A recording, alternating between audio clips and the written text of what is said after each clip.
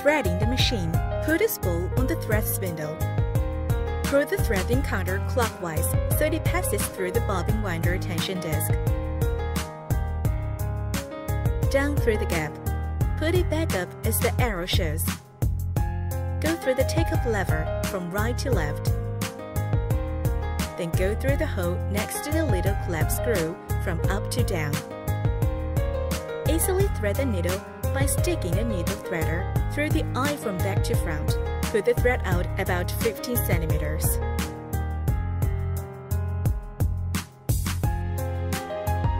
Caution!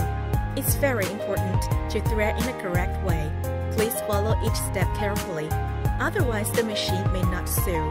Now, in case you have trouble in using the machine, we will go over some common problems and the solutions.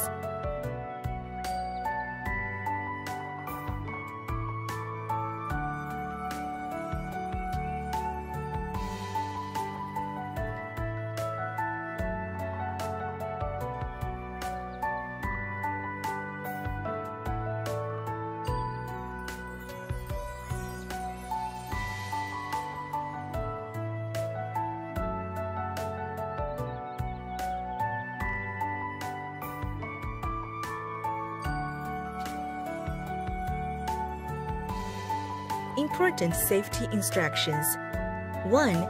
Always disconnect from the power supply when changing the needle. 2. Children should only use the appliance with adult supervision. 3. Never run the machine when there's a thread in the needle, but no fabric on the machine. This could damage the machine. 4. Don't use the machine outdoors. 5. Whenever the sewing machine is not in use, make sure it is switched off and unplugged from the power supply.